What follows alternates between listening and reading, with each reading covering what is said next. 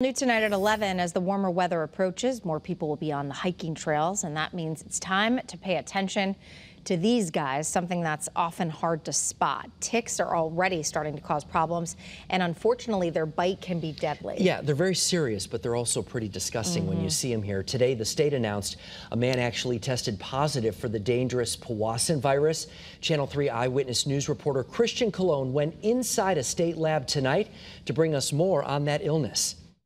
These are three adult ticks, tiny but deadly. I found a tick in myself after a hike. Um, it didn't bite me, thank goodness, but I think after that I was more cautious. Heading outdoors might be part of your plan, so experts urge you to be careful since ticks are infecting earlier than usual. I lived in Vermont for a summer and thought about it a lot then, but didn't think about it today. Today, the state says a Windham male in his 50s got sick in March. He was sent to the hospital, later testing positive for Powassan virus antibodies.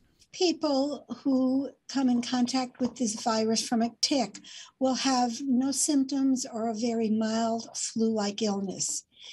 In some cases, you can become quite ill with this virus and develop nausea, vomiting, headache, seizures, confusion. Prevention is key, especially since virus transmission could happen in less than an hour. 10% of those that are infected with Powassan virus and show symptoms, they will die. Covering your body with long sleeves is useful, then dry your clothes under high heat to kill the ticks. Spray their clothes before they put their clothes on with, with pesticide in order to get some kind of protection. After their outdoor activity, it is important for them to do thorough check, tick check within two or three hours of outdoor activity.